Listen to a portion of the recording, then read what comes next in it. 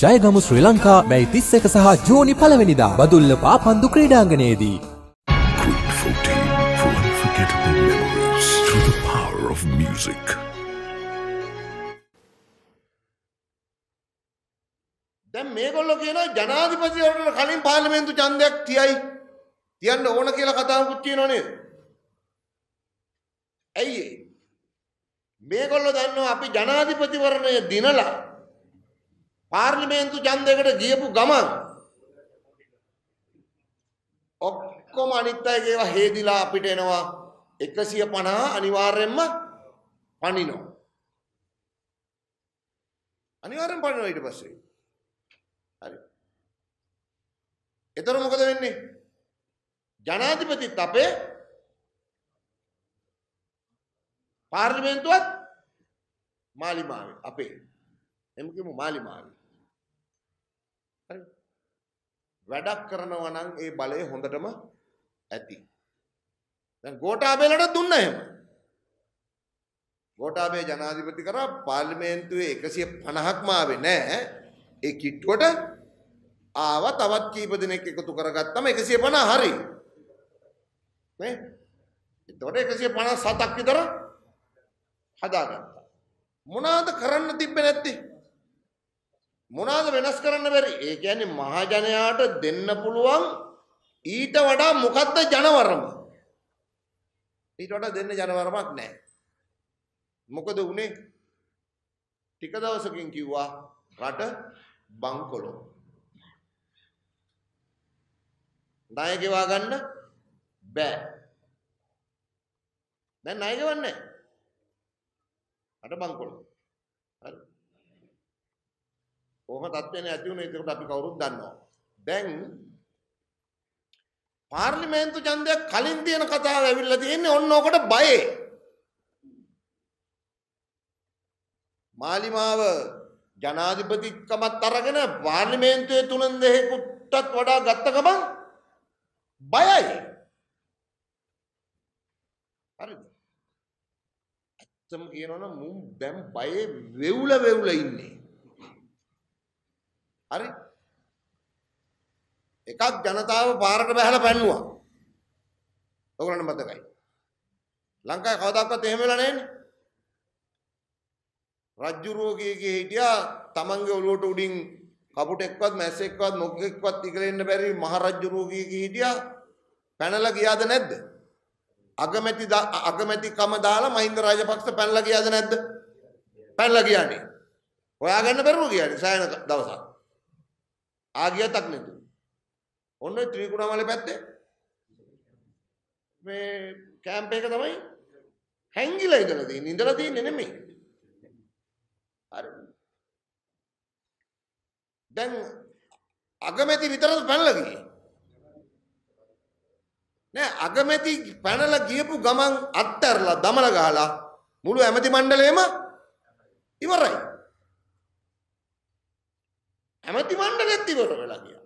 එක්කෙනෙක්වත් නෑ ඇමතිවරු. ඒ ටිකත් ඉවරයි. කොහොම ජනාධිපති දාලා ගියපු ගමන් ඇමති මණ්ඩලේ අවුසි. ඉවරයි. හරි. හැබැයි ඊට ටික දවසකට පස්සේ ආයි ඊළඟ මාසේ 9 වෙනිදා මොකද උනේ? අර මැයි 9 නේ ඒක උනේ. ජුනි 9 මොකද උනේ? හා? කියන්න පුළුවන්. ඊළඟට පැනලා ගියා බැසිල් රාජපක්ෂ මොළ හතක්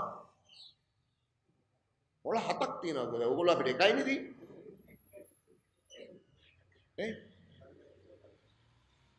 මිනිහා අත්තරලා ගියා. අත්තරලා ගියා. ඊළඟ මාසේ 9 වෙනිදා මේ 9යි 9යි 9 එකට ඇවිල්ලා තියෙන්නේ. පිට පිට මාසවල මැයි 9 ජුනි 9 ජූලි 9 9 නපුරු කියන්නේ ඒකනේ අපි ඔය පොඩි කාලේ අහලා තියෙනවා නේද 9 නපුරු කියලා අහලා තියෙනවා ජනාධිපති පැනලා ගියා ජන බලයට. හැබැයි දැන් අපිට තාම බැරි වුණා ඒ ජන මතය කතිරකින් කොලේක ලකුණු කරන්න. මුන් දෙන්නේ. පළත්පාලන ඡන්දෙදි මිනිස්සු බලන් හිටියා. හා වරෙල්ලකු. ඒක හෙට මෙහෙට කරලා පන්න ගත්තා. පළත්පාලන ඡන්දේ නැහැ. එතකොට ජනතාව දැන් බලාගෙන ඉන්නව මොකද්ද? ආ වරෙන්කෝ ජනාධිපතිවරණේ අර තමන්ගේ තියෙන සියලු විරෝධයන් මුන් අවුරුදු 76ක් මේ රට කෑවා අපි දැන් දුප්පත් වෙලා නේ ඒ සියලු විරෝධතාවයන් එක්රැස් කරගෙන ඉන්නවා මාලිමාවට කතර ගහන්න ජනාධිපතිවරණ එනකම්. එතකොට දැන් බයයි. ඒකයි මම කියන්නේ බයයි. ඔය ලොකු කතා බොන්න ටෝක් දුන්නත් බය ඉන්නේ. එනවා ඒකටත් කියලා වෙනවා. එහෙනම් ඊට කලින් පාර්ලිමේන්තු ඡන්දයක් තියාගත්තොත් නිකන් ජාමේ බේරගන්න පුළුවන් වෙයිද? ඕගොල්ලන්ට මම පොඩි කතාවක් කියන්න ගොඩක් අය හිතලා නැති එකක් තාම දැන් කලින් පාර්ලිමේන්තු ඡන්දයක් තිබ්බෝ. හරි? ජනාධිපතිවරණයට කලින්. ජනාධිපති කල් දාන්න බෑ. ඔය ජනාධිපතිවරණ එනවා. ඊට කලින් හෙට අනිද්දා කියන්නකෝ. ඉක්මනින්. හරි? පාර්ලිමේන්තු ඡන්දයක් තියාගත්තොත් දැන් රාජ්‍ය බලය එතකොට ඒගොල්ලන්ගේ අතේ තියාගෙන මේක කරන්නේ. හරි? ඒ ජනාධිපතිකම තියාගෙනනේ ඒක කරන්නේ. හරි. දැන් මැර බලය දිනනවා. එක එක බලය දිනවනේ.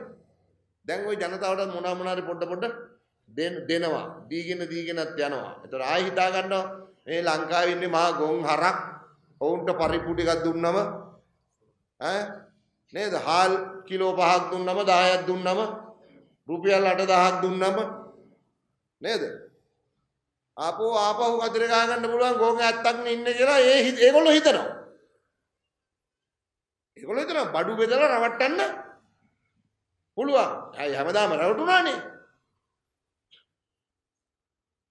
එහෙම කරලා മന്ത്രിකන් ටිකක් කොහොම හරි ටිකක් හරි බේරගන්න පුළුවන් වෙයි.